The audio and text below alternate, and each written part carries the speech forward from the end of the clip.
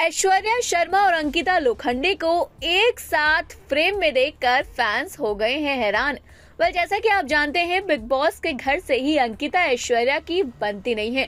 दोनों मिलते भी नहीं हैं, लेकिन इनका एक वीडियो वायरल हो रहा है, जिसमें अंकिता ऐश्वर्या दोनों साथ में नज़र आ रहे हैं। जी हाँ आप देख सकते हैं कि अंकिता ऐश्वर्या दोनों साथ में खड़े हैं।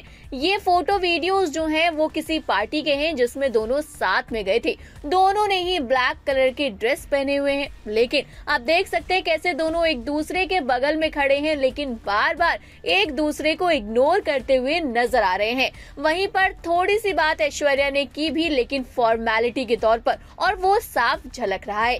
वहीं अब बात करें फैंस की तो इन दोनों को साथ में देखकर फैंस ने किसकी तारीफ़ की है, किसको ट्रोल किया है?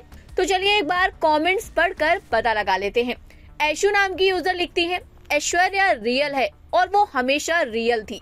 आगे भी फैंस ने ऐश्वर्या के लुक की तारीफ़ की, उन्हें प्रिटी कहा।